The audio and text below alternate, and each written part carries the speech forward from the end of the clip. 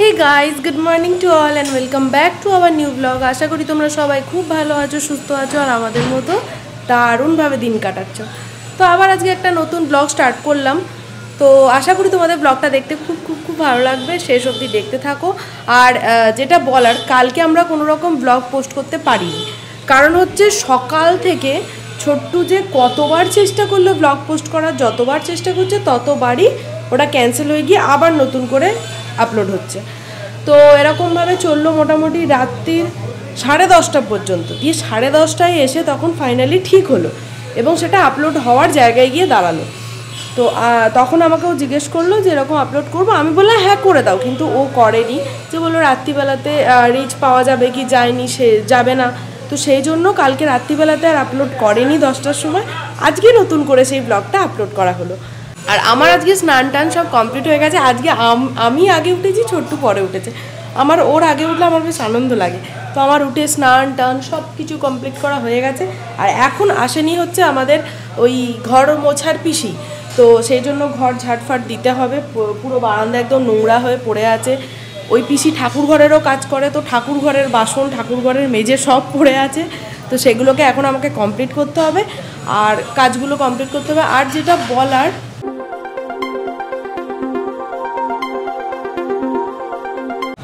তো আজ স্নান করতে গিয়ে কি হচ্ছে? প্রত্যেক দিন আমি স্নান করার সময় না আমার চুলটা ভেজাই না। যেহেতু অনেকটা বড় চুল, আমি ভেজাই না।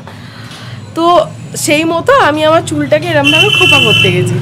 আমি না কিছুক্ষণ পরে দেখছি এখানে শেষ হয়ে যাচ্ছে, যেটা আমার এত দূর হাত অবধি যায়। তো মানে কীরকম একটা খারাপ খারাপ লাগছে যে এত বড়টা ছিল, এইটুকুনি হয়ে গেল। একটা অভ্যাস ছিল, অভ্যাস থেকে বেরিয়ে যেতে হচ্ছে। তো স্নান করতে গিয়ে ওটাই যে একটুখানি মনে হলো। আর যেটা বলার সেটা হচ্ছে আমার শরীরটা এখন প্রায় ঠিক হয়ে গেছে। প্রায় বলতে প্রায়ই ঠিক হয়ে গেছে। আর একটুখানি মাঝে মাঝে খুক খুক করে কাশি হচ্ছে। বাদ বাকি সব কিছু ওকে। তো চলো, দিনটা স্টার্ট করি। জলখাবার খাই, পুজো করে আসি। তারপর আবার তোমাদের সাথে কথা হচ্ছে। So hey guys good morning আশা করি সবাই খুব ভালো আছো, সুস্থ আছো। তা আজকে সকালবেলা দিয়ার তাড়াতাড়ি একটু ঘুম ভেঙেছে, আমার থেকে একটু আগে, খুব একটা বেশি আগে না, কিন্তু বেশ ভালোই তাড়াতাড়ি একটুখানি উঠে পড়েছে। তো তোমাদের সাথে সকালবেলা ব্লগটা স্টার্ট করেছে, আর আমি এখন জাস্ট ঘুম থেকে উঠলাম, আর ঘুমটা আজকে দুর্দান্ত হয়েছে। তার কারণ হচ্ছে, কালকে রাত্রেবেলাতে এডিট ছিল না, কারণ তোমরা কালকে কোনো ব্লগ পাওনি। তো তার কারণ হচ্ছে কালকে বলতে তার আগের দিন মানে একদিন গ্যাপ গিয়েছিল মাঝখানে। সেটার কারণ হচ্ছে, আমাদের মানে আইপ্যাডটাতে রাত্রিবেলা যেরকম আমরা এডিট করে শুই, সেরকম এডিট করেই শুয়েছি। যদিও সেদিনকে রাতটা অনেক হয়েছিল।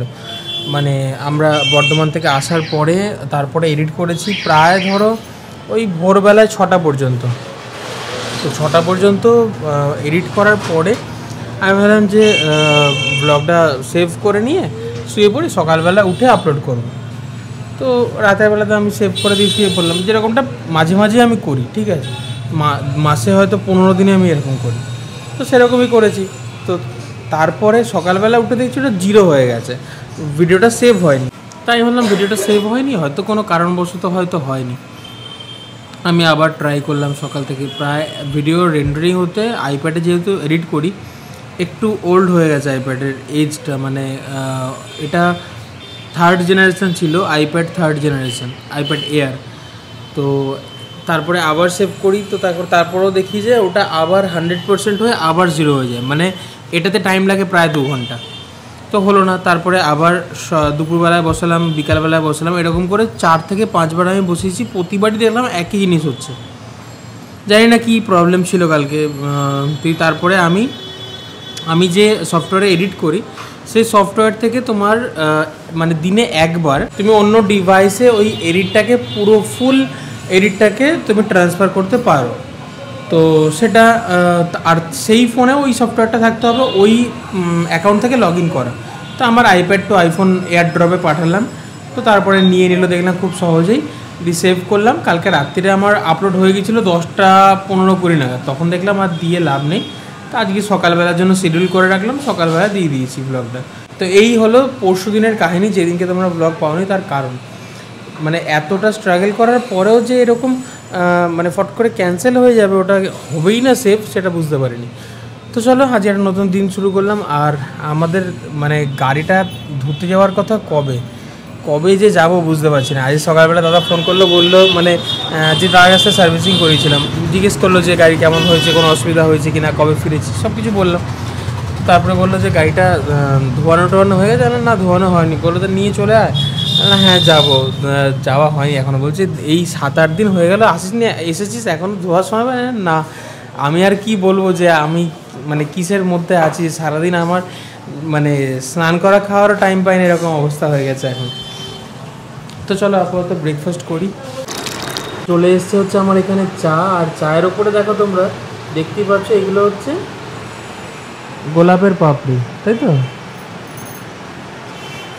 মানে একদম পুরো যেরকম আমরা দার্জিলিং থেকে যেটা এনেছিলাম মানে একদম খেতে তো পুরো গোলাপের মতো, গন্ধ পুরো মানে খেতে গোলাপের মতো জানি না মানে গন্ধটা যেহেতু আসে সেই জন্য মনে হয় যেন গোলাপ গোলাপই খাচ্ছি। আর মধু আর মানে গোলাপের গন্ধটা এত স্ট্রং আর এত সুন্দর লাগে, কি বলব? এই চাটা আমার ফেভারিট হয়ে গেছে। এটা শেষ হয়ে গেলে আমি কী করব? আমাকে মনে আবার দার্জিলিং ছুটতে হবে।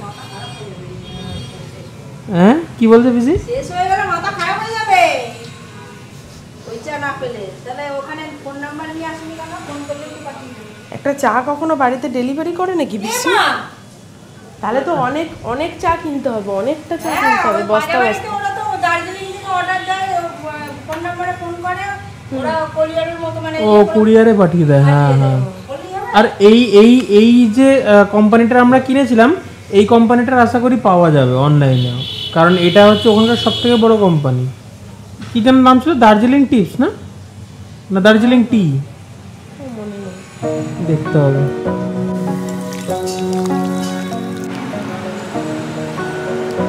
তো তোমরা একটা জিনিস কি খেয়াল করেছ? আমাদের ফ্যামিলি কিন্তু এখন বারো হাজারের ফ্যামিলি আমাদের, আমরা অলরেডি টুয়েলভ থাউজেন্ডে পৌঁছে গেছি টুয়েলভ কেতে কালকে রাতে। তো তার জন্য থ্যাংক ইউ সো মাচ তোমাদেরকে। তোমরা সাপোর্ট করছ খুব ভালো। যদিও এটা তোমরা চাইলে আরও তাড়াতাড়ি করতে পারতে, কারণ অনেক দিন ধরে মানে ইলেভেন কে থেকে টুয়েলভ কে হতে অনেক দিন সময় লাগল। কেন জানি না সব থেকে বেশি সময় এটাতেই লাগল। যদিও তোমাদের জন্য আমরা এত ভালো ভালো কন্টেন্ট এত দূরে যাওয়ার চেষ্টা করছি দার্জিলিং গেলাম। তো একটু কিপটেমি করো না, একটু ভালোবাসা দাও, কি করছ? তোমাদের সাপোর্ট ছাড়া এটা হতো না, আর তোমাদের জন্যই সব কিছু এরকমভাবে ভালোবাসছো, অমনিভাবেই ভালোবাসতে থেকো। তোমাদের ভালোবাসাটাই আমাদের জন্য সবচাইতে বেশি জরুরি। এবং তোমাদের ভালোবাসা যতদিন আমাদের সাথে থাকবে ততদিনই আমরা এখানে থাকতে পারব। একদমই তাই। কি হয়েছে? কি আছে? কি হয়েছে? চলে গেল। তো ব্যাপারটা হচ্ছে এসছিল হচ্ছে তন্ময়দা ব্যাংকের কাজ বুঝতে। তুমি জানো না? ও তোমায় ভয় পায়, ওই জন্য তোমাকে আটকানো হয়েছে। আর ও তখন থেকে পাগলের মতো পড়ে যাচ্ছে, যখন থেকে ওকে দেখেছে। বেরো। এইবার মনে করে হামলা হবে, ওরে বাপ রে তো আমরা বসে গেছি খাওয়া দাওয়া করতে দুপুরবেলার আজকে একদম সিম্পল রান্না হয়েছে। আজকে হয়েছে হচ্ছে, কি বলে এটাকে? কি বলে মা এটাকে? ভুলে যাচ্ছি। থানকুনি পাতা। বাটা চিচিঙ্গা থানকুনি পাতা ছোট্ট খায় না আমিও খাই না।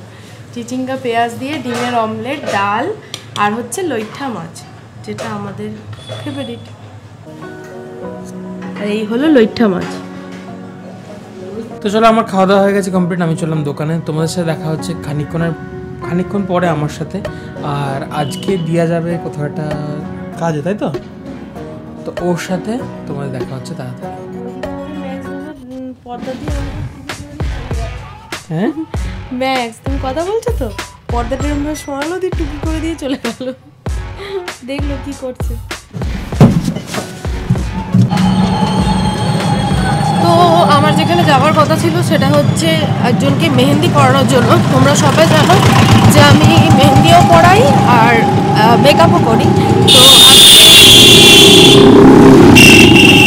একজনকে মেহেন্দি পড়ানোর আছে, তো আমি সেখানেই যাচ্ছি এখন। তো চলো, সেখানে গিয়ে তোমাদের সাথে আবার দেখা হচ্ছে।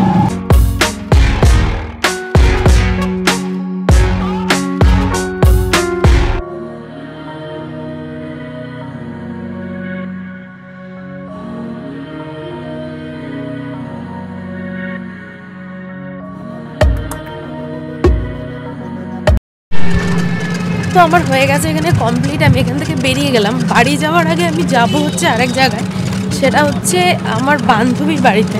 ও আমাকে সকালবেলা ফোন করেছিল যে আসবি? তুই তো এবারে এলি না। আমি এসছিলাম বাড়িতে। ওর ওর শ্বশুর বাড়িও কালনাতে। তো ও কদিন আগে বাড়িতে এসেছিল। আমি জানতাম ও এসছে কিন্তু এবারে আর আমার ওর সঙ্গে দেখ- করতে যাওয়া হয়নি। তো তুই তো এলি না। আসবি? হ্যাঁ, ঠিক আছে যাব তাহলে।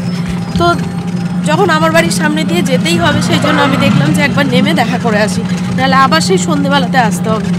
তো এখন একবার ওর বাড়িতে ঢুকবো, একটুখানি দেখা করব, তারপর বাড়ি যাব। মামা!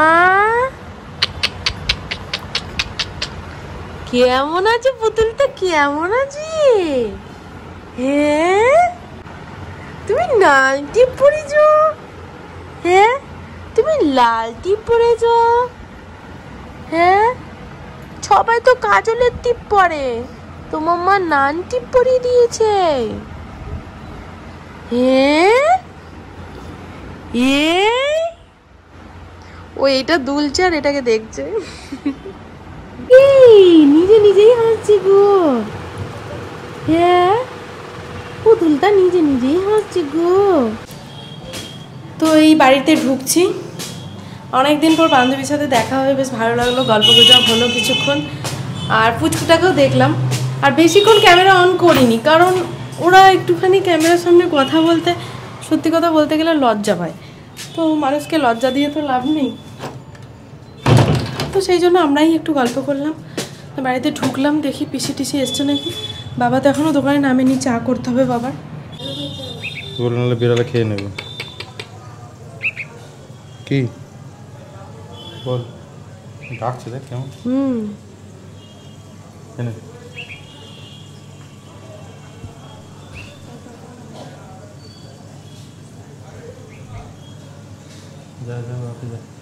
যাবে না। যারা পাখি বসে তারাই পারবে। এটুকু পাখিকে কি করে মানুষ করবে? দাঁড়ান দাঁড়ান দাঁড়ান। তো দু- একটু দুধ গরম। আমুল দুধ খাবি? কি আছে বল? পাখি কি পাখি রে শালিক পাখি হবে নাকি? দেখছে দেখ কেমন করে দেখছে আমার তো। মনে হচ্ছে এটা। আমাকে ভয় সত্যি আমার কিন্তু ভয় করে। ওদের কাছে হা করছে কিছু করে না কিছু করে না। দাঁড়া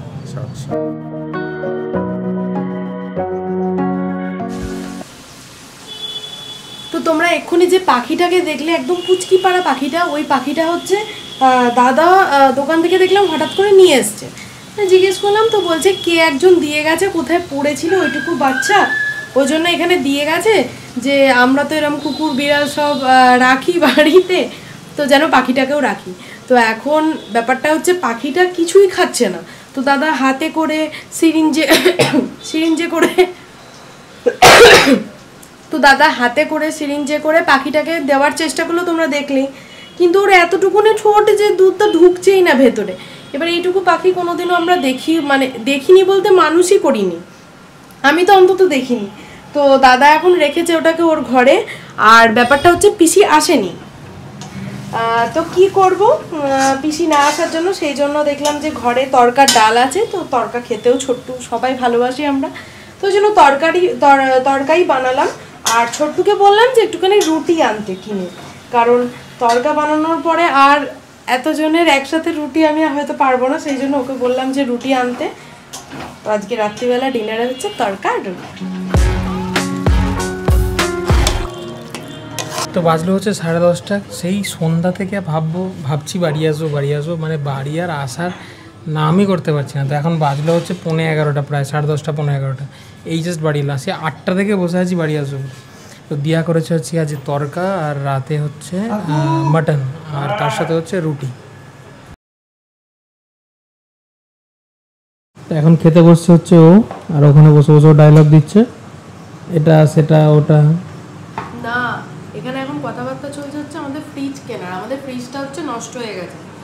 কত মানে বেশ অনেক কদিন ধরেই নষ্ট হয়ে গেছে কিন্তু এবার একেবারেই যাতা অবস্থা আর কোনো কাজই হচ্ছে না ফ্রিজে তো সেই জন্যই ও আমাকে লিঙ্ক পাঠিয়েছে সেই লিঙ্কগুলো চেক করা নিয়ে কথাবার্তা চলছে।